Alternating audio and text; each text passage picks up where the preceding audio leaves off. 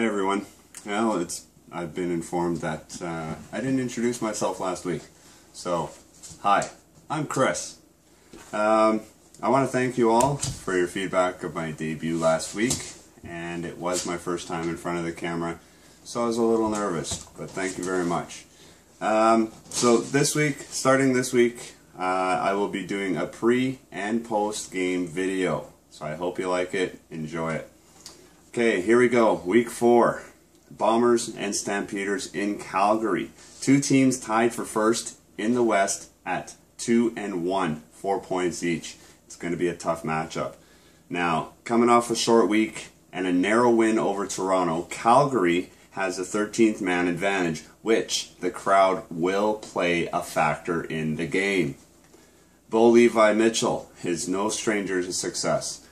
He possesses the ability, the power to move the ball, and he's just a good quarterback. Um, to date, he's sitting at 66 of 100 and a total of 810 yards. Now, keep in mind, we're going in week four.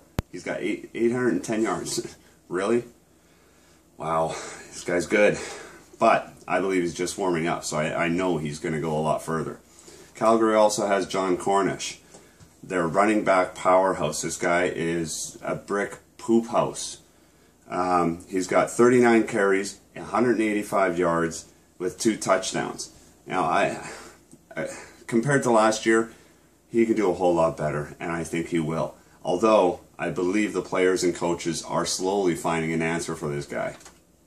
Calgary has the potential to create a whole lot of havoc, whole lot of havoc for players and coaches alike. Now we have the Bombers. Sure, last week it was a defensive uh, points game, but Drew Willy did move the ball well. Cotton, Marshall were stopped quickly, and more, more in Denmark and Kohler uh, made some really great plays. Now Drew Drew Willy is sitting at uh, pretty pretty low in the standings. In fact, he's only 44, 45 of 60 for 624 yards. Now, okay, we don't have much to really compare it to, seeing as how he sucked so bad last year. But he can throw, he can hit his numbers. We just have to wait to see him do it. Um, so here's my game prediction for tonight's game. It's going to be a high yardage ground and pound. That's my prediction. High yardage, ground and pound.